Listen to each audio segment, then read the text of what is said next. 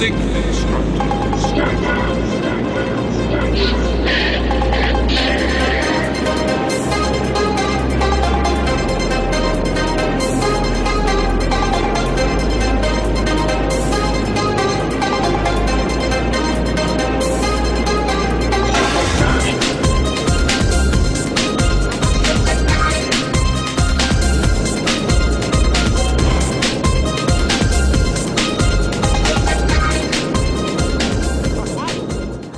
Er is een nieuw boek uitgekomen, genaamd Vliegvelden in oorlogstijden. In dit boek staan verschillende vliegvelden beschreven, waaronder vliegveld Delen. Onze gids Willem Klein zal ons hier meer over vertellen. Het boek wat ik hier heb, dat is net uit. Daar is uh, vanaf 1990 aan gewerkt door de studiegroep Luchtoorlog. Daar ben ik ook lid van. En hier zit eigenlijk alle kennis die er is, met name van de vliegvelden 1940, 1945 in Nederland, is hierin samen gebundeld. En dit is eigenlijk voor het eerst dat er nu een boek is waar systematisch al die velden in beschreven zijn. Deel is een van de vliegvelden geweest die, die met name is uh, gebouwd voor de nachtelijke luchtverdediging. De Engelsen vielen s'nachts aan.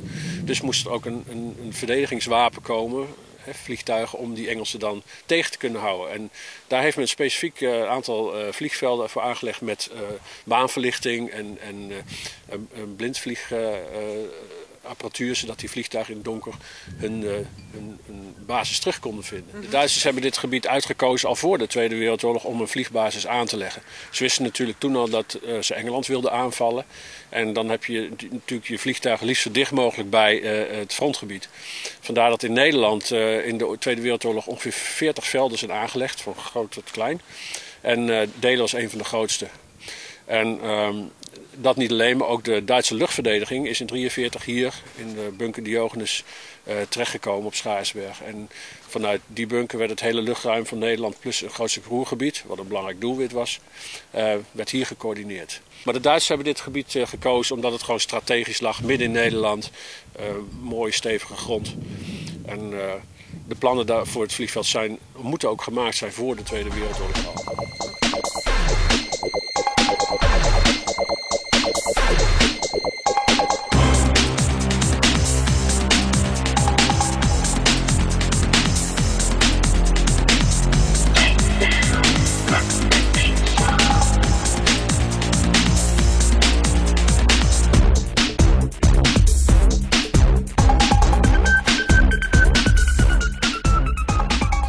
De vliegvelden werden dus gebruikt door de Duitsers. Hoe ging dat in zijn werk op zo'n vliegveld? De grotere Duitse vliegvelden hadden een banenstelsel in de vorm van een A, zodat je bij elke windrichting kon opstijgen en landen. Dat is ook op delen gebeurd. Hier uh, achter mij bij de bosjes, dat is eigenlijk het begin van de A, de punt van de A. Dan loopt er een baan naar het zuidwesten en een baan naar het uh, noordwesten. En dan langs de bosrand, helemaal daarachter. Daar is eigenlijk wat nu nog steeds de start- en landingsbaan is, dat is de basis uh, van de A.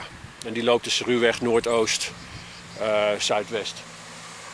En dat banenstelsel is natuurlijk op zich vanuit de lucht makkelijk te herkennen. Want je ziet gewoon een grote A op een luchtfoto. En de Duitsers hebben geprobeerd om dat natuurlijk te camoufleren door de banen groen te verven. En uh, in 1944 is het vliegveld gebombardeerd. En toen, het verhaal gaat althans dat men zelfs de bomkraters dichtgooide. Maar er dan weer een gat op schilderde om te lijken alsof de baan oh. buiten gebruik was. De Duitsers hebben heel veel moeite gedaan om het vliegveld te camoufleren. Ook alle gebouwen hier zijn op, op die manier gebouwd.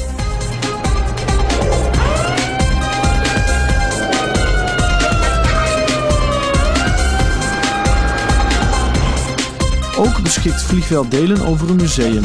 Hier staat onder andere een kanon waarmee ze een aantal vliegtuigen wisten neer te halen.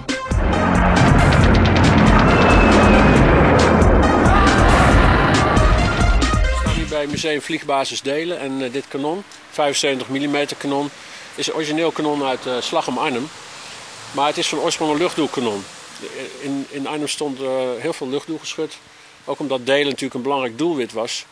En rond het vliegveld waren drie grote vlakstellingen. Dus vlak, dus, vloeksoort luchtafweerkanonen. En één zo'n stelling was hier bij Telet.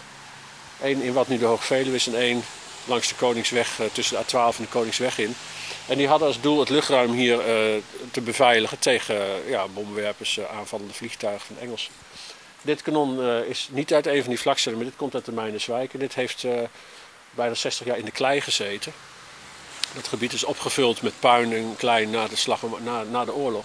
En dat kanon stak alleen dat bovenste kromme pijpje stak nog boven de grond uit. Tot iemand op het lumineus idee kwam van hé, hey, er zou wel eens wat in de grond kunnen zitten. Het is kanon opgegraven en hier bij Museum Delen terechtgekomen. Die zwart-witte ringen hier om de loop geeft het aantal neergeschoten toestellen aan. Dat toegekend is aan de batterij. Dus dit met dit kanon zouden dus 1, 2, 3, 4, 5, 6, 7, 8 toestellen zijn. Engelse of Amerikaanse.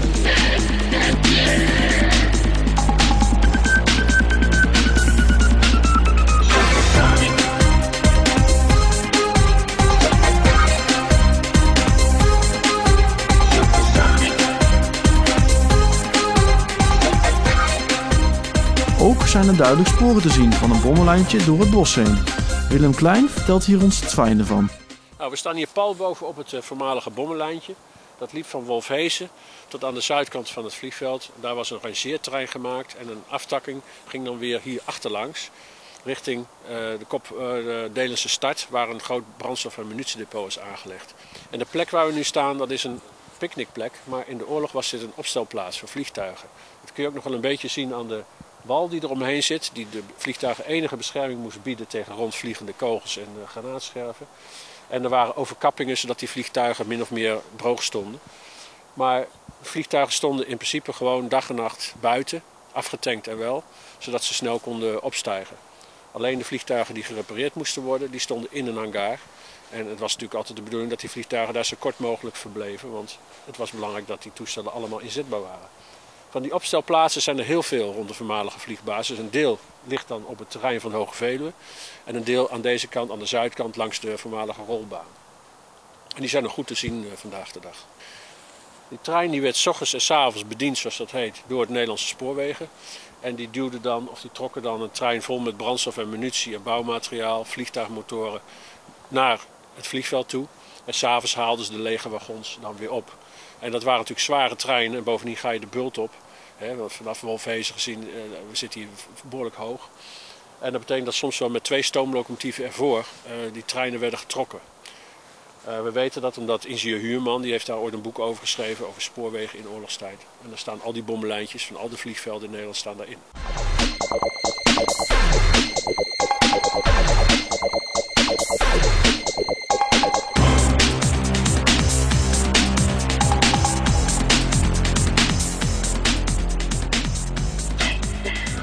Dit was deel 1 van Vliegveld Delen. Het volgende deel en tevens laatste deel zal binnenkort volgen.